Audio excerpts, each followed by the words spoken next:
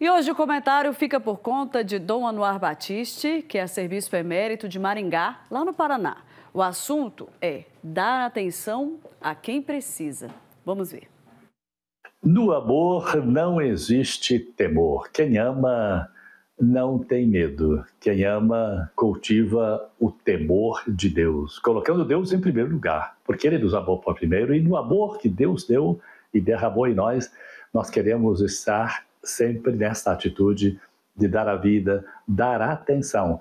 Essa expressão nós encontramos um velho e antigo documento de 78, quando João Paulo II dizia que o que mais as pessoas precisam hoje é de atenção. Dar atenção é um sinal de amor profundo.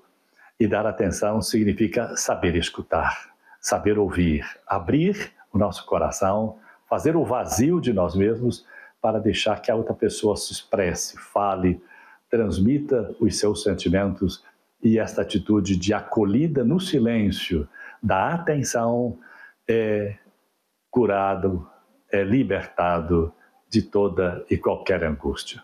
Por isso, vale a pena. Amar não é nada difícil, só precisa estar atento aos pequenos detalhes da vida humana porque é através das pequenas coisas que nós chegaremos também nas grandes.